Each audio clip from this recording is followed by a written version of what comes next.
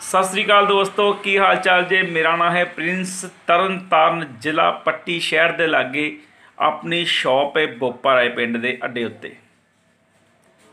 ਜੋ ਮੇਰੇ ਭਰਾ, ਮੇਰੇ ਦੋਸਤ ਮੈਨੂੰ ਪਿਆਰ ਕਰਦੇ ਨੇ, ਉਹਨਾਂ ਅੱਗੇ ਛੋਟੀ ਜੀ ਰਿਕਵੈਸਟ ਹੈ ਮੇਰੀ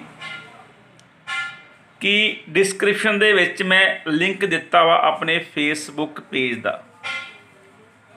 ਤੇ ਮੇਰੇ ਭਰਾ, ਮੇਰੇ ਜੋ ਯਾਰ ਦੋਸਤ ਨੇ, ਮੇਰੇ ਸੱਜਣ ਨੇ, ਮੇਰੇ ਪ੍ਰੇਮੀ ਨੇ, ਉਹ ਇਹ ਲਿੰਕ ਤੇ ਕਲਿੱਕ ਕਰਕੇ ਮੇਰਾ ਫੇਸਬੁੱਕ ਪੇਜ ਹੈ ਪ੍ਰਿੰਸ ਦੇਸੀ ਨੁਸਖੇ 0385 ਉਹਨੂੰ ਫੋਲੋ ਕਰ ਲਓ, ਉਹਨੂੰ ਲਾਈਕ ਕਰ ਲਓ।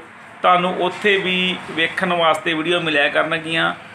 ਅਗਰ ਕਿਸੇ ਨੂੰ YouTube ਤੇ ਵੀਡੀਓ ਨਹੀਂ ਲੱਭਦੀ, ਤਾਂ ਉਹ ਮੇਰੀ ਵੀਡੀਓ ਨੂੰ Facebook ਪੇਜ ਤੇ ਜਾ ਕੇ ਦੇਖ ਸਕਦਾ ਵਾ। ਤੇ ਮੇਰੀ ਸਾਡੇ ਗਾੜੀ ਛੋਟੀ ਜਿਹੀ ਰਿਕਵੈਸਟ ਹੈ ਆਪਣੇ ਭਰਾਵਾਂ ਗਾੜੀ ਕਿ ਉਹ ਪੇਜ ਨੂੰ ਫੋਲੋ ਕਰ ਲਓ, ਉਹਨੂੰ ਲਾਈਕ ਕਰੋ ਸ਼ੇਅਰ ਕਰੋ। ਧੰਨਵਾਦ ਦੋਸਤੋ।